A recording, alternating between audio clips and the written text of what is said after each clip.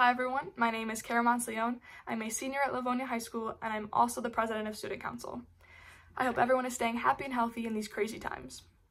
To keep our Bulldog community strong, positive, and connected, we decided we're creating a virtual Spirit Week for grades K through 12. That's right, everyone can join in, and I hope to see some parents and staff in there too.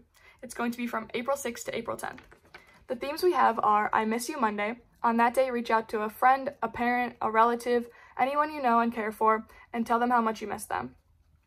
On Tuesday, we have Pajama Day and Crazy Hair Day, so roll right out of bed and snap us a picture. On Wednesday, it's Show Us Your New Skill Day. We want to see anything new you've learned in your free time. On Thursday, it's Outdoor Activity and Crazy Sock Day, so go for a hike, a walk, anything outside, and wear those crazy socks. And on Friday, we have Livonia Bulldog Pride Day. On that day, wear anything Livonia related or any orange and blue will do. Take all of your pictures and send them to bit.ly slash lhsstuco. I hope everyone joins in. I know I will. Stay safe, Bulldog.